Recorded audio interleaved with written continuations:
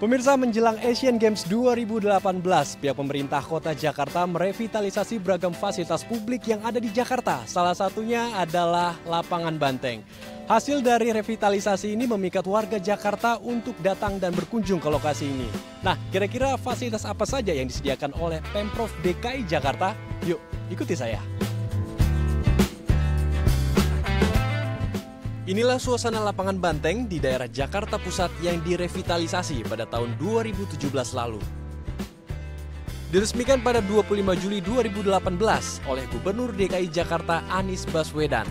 Lokasi ini menjadi berbeda dari lapangan banteng sebelumnya karena ada beberapa fasilitas baru yang disediakan oleh pemerintah. Fasilitas tersebut terbagi dalam tiga zona.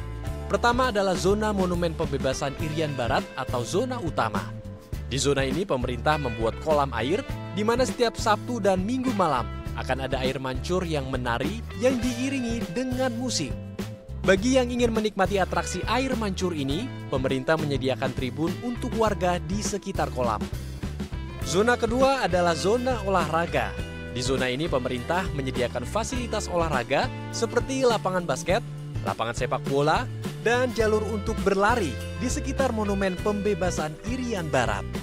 Melihat banyaknya warga yang berolahraga di zona ini, saya pun tertarik untuk ikut berlari di tempat ini.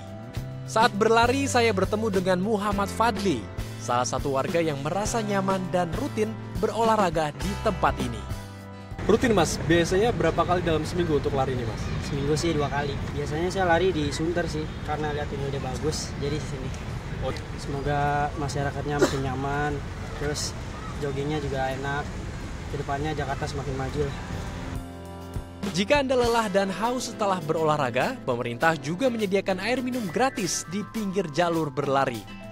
Disediakan pula toilet yang disertai ruang untuk membersihkan diri atau mandi setelah berolahraga. Selain itu, tempat ini juga menyediakan musola bagi yang ingin beribadah. Ya, setelah zona monumen pembebasan Irian Barat dan zona olahraga, zona terakhir adalah zona taman.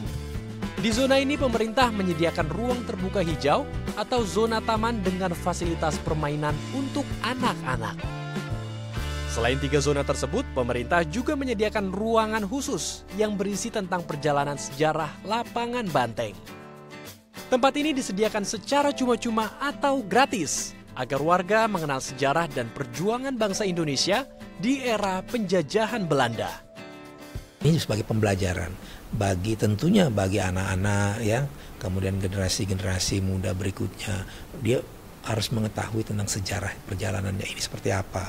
Nah, di satu sisi mereka melakukan pembelajaran seperti itu, di sisi lain mereka bisa berolahraga, ya, bisa menikmati suasana.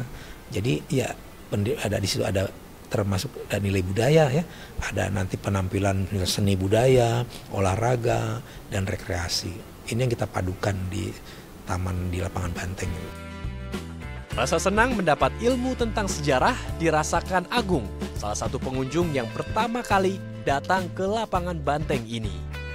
Jadi pembelajaran buat kita lah. Jadi sejarah yang sebenarnya tentang pembebasan Irian Barat kita bisa temui di sini kan gitu. Ya harapannya bisa timbul tempat-tempat seperti ini di lokasi yang lain gitu. Jadi uh, ruang terbuka untuk publik ini makin banyak lah di Jakarta. Jadi kita nyari tempat untuk rekreasi itu nggak susah lah gitu loh.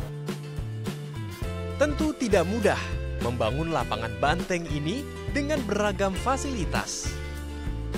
Tanggung jawab untuk merawat dan menjaga lapangan banteng ini tidak hanya dari pemerintah, namun, kesadaran dan peran serta warga juga diperlukan agar wajah kota Jakarta semakin indah. Hendru Pakpahan, Henry Pramudia, The ITV.